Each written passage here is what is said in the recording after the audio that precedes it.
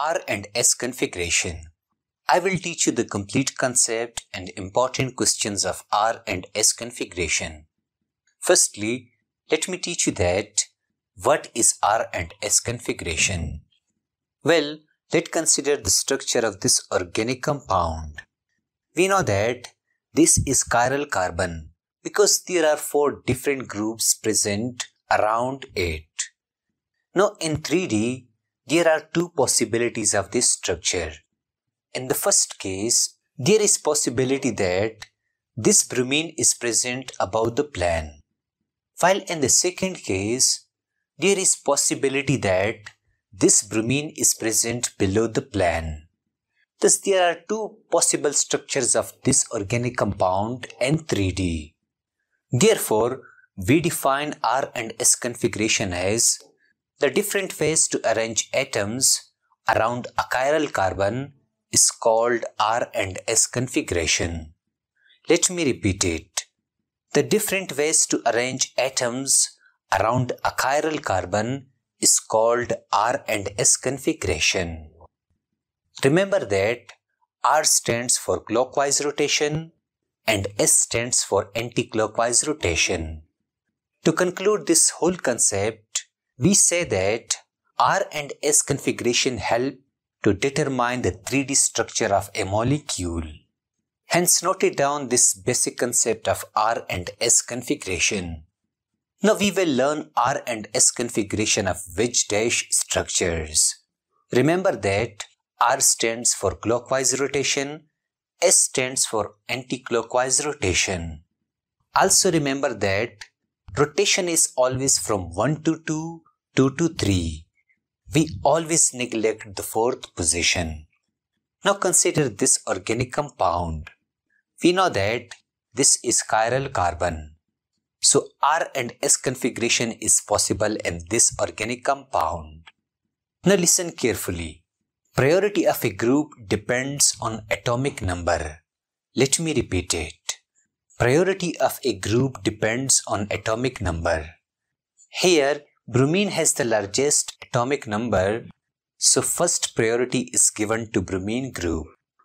Secondly, the chlorine has larger atomic number, so second priority is given to the chlorine. Thirdly, oxygen has larger atomic number, so third priority is given to oxygen. Fourthly, hydrogen has the least atomic number, so less priority is given to hydrogen. That's why we call it LPG or least priority group.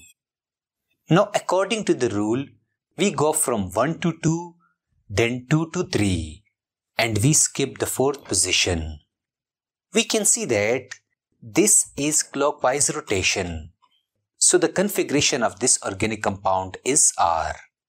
I write LPG or hydrogen is present at the dash position. So the result is R configuration. Thus the configuration of this organic compound is R. Secondly, consider this organic compound. We can see that this is chiral carbon because four different groups are present around it. We know that priority is given to the group having larger atomic number. Here, iodine has the largest atomic number. So first priority is given to iodine, second priority is given to the bromine, third priority is given to the fluorine, and hydrogen is LPG. Now I go from first position to the second position, then second to the third position, and I skip the fourth position we can see that this rotation is clockwise. According to the rule, clockwise rotation is known as R configuration. So the configuration of this compound is R. But wait a minute. We can see that LPG or hydrogen is present at the wedge position. Remember that if LPG is present at wedge position, reverse the direction of rotation. Let me repeat it. If LPG is present at wedge position, reverse the direction of rotation. So I reverse the direction of this rotation. Now this rotation is anti-clockwise rotation. According to the rule, anti-clockwise rotation is S configuration. So the configuration of this organic compound is S configuration. Hence noted down this important example. Now consider this organic compound. We know that priority is given to a group having highest atomic number. Chlorine has larger atomic number, so first priority is given to chlorine. Now at the second and at the third position, there are carbon. In such cases, we give priority to the one which has higher carbon number. Let me repeat it. We give priority to the one which has higher carbon number. Second position is given to the ethyl. Third priority is given to the methyl. Now I go from first position to the second position, then from second position to the third position. This is clockwise rotation, so it has R configuration. Also we can see that LPG is present at the dash position. So the final configuration of this organic compound is R configuration. Hence noted down this important example. Now consider this organic compound. Pause the video and try to find its R and S configuration. Well, we know that this is chiral carbon. Let I write here 1 and I write here 2. Now I write here the chiral carbon. We can see that at the dash position there is chlorine at the wedge position there is hydrogen. While at the first position, there is methyl CH3. At the second position, there is ethyl CH2CH3. So this is the structure of this organic compound. According to the rule, chlorine is given first priority, then the second priority is given to ethyl because it has more carbon atoms than methyl. The third priority is given to methyl and hydrogen is LPG. Now I go from first position to the second position, then from second position to the third position. We can see that this is clockwise rotation or R configuration. But wait a minute. Here LPG or hydrogen is present at the wedge. We already know that if hydrogen is present at the wedge position, we will reverse the direction. So I reverse the direction of this organic compound. So this organic compound has S configuration.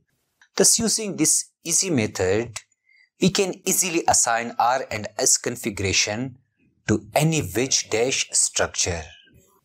Now we will learn R and S configuration of Fischer projection structure.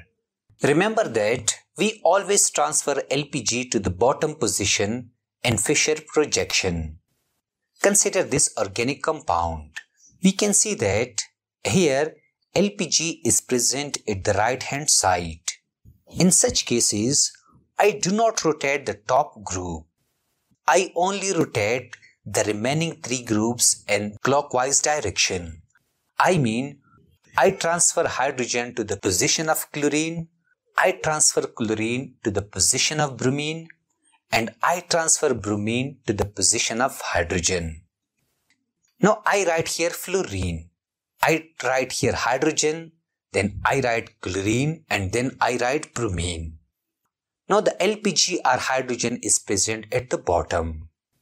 We know that bromine is given first priority, chlorine is given second priority and fluorine is given the third priority while hydrogen is LPG. So I go from first to the second position, then second to the third position. This is clockwise rotation or R configuration. So the configuration of this organic compound is R. Secondly, consider this organic compound. We can see that LPG or hydrogen is present at the left hand side. I do not rotate the top group. I only rotate the remaining three groups in anti-clockwise direction. I mean, I shift hydrogen to the position of bromine, I shift bromine to the position of oxygen, and I shift oxygen to the position of hydrogen. I write iodine. I write here hydrogen, then bromine, then oxygen. We know that iodine has larger atomic number.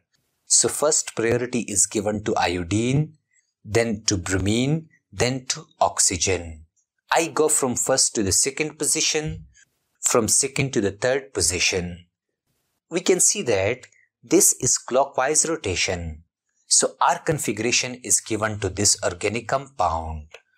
Thus the configuration of this organic compound is R. Now consider this organic compound. We can see that LPG or hydrogen is present at the top position. In such case, I transfer up to down and left to right. I mean, I transfer hydrogen from the top position to the down position. I transfer chlorine from the left position to the right position and vice versa. I write here fluorine, I write here hydrogen. I write here chlorine, I write here bromine. Now bromine has the larger atomic number, I write 1. Chlorine has larger atomic number, I write here 2. Then fluorine has larger atomic number, I write here 3.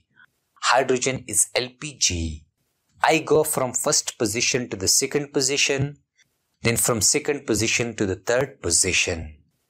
We can see that this is anti-clockwise rotation. So this organic compound has S configuration. Finally, consider this organic compound. Firstly, we will give priority to the groups. We know that oxygen has larger atomic number, so first priority is given to oxygen. Secondly, nitrogen has larger atomic number, so second priority is given to nitrogen. Thirdly, this is methyl and this is ethyl. So the third priority is given to ethyl and the fourth priority are LPG is methyl. Now listen carefully. LPG is present at the right position. We know that we will transfer LPG to the bottom in clockwise direction. I write here OH as it is. Now I write methyl CH3 here. Then I shift NH2 here. I write ethyl here. Now again I will give priority numbers to the group.